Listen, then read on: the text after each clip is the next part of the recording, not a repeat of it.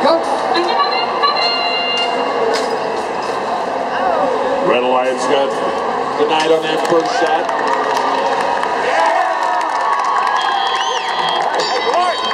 Albatross for each alliance. 45-36 for the Blue Alliance. Picks it up quickly. Dumps it into the lone goal. Meanwhile, 24-71 gets rid of theirs. Red Alliance is trying to begin their first cycle. Blue Alliance has already started.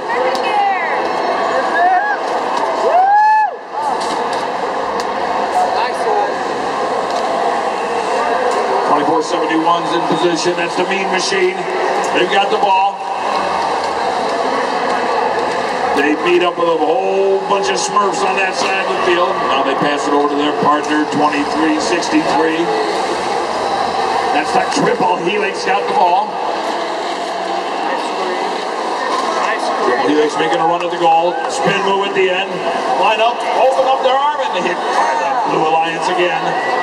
Now they pick the ball back up, get from the one-point goal, and they cash in on all those points.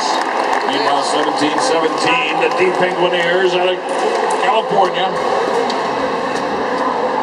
Nice soft shot with all those lights up on the top.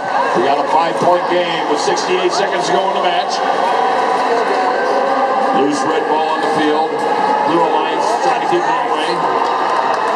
Last minute of play. Last minute to play in match 96. Oh, they scored a bad show. Triple Helix. 31-38's got the ball inbound from the human player.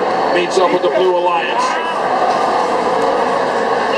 They passed it off to Triple Helix. Triple Helix got the ball. They spread past the defense, running down the lane. And they open up their arm.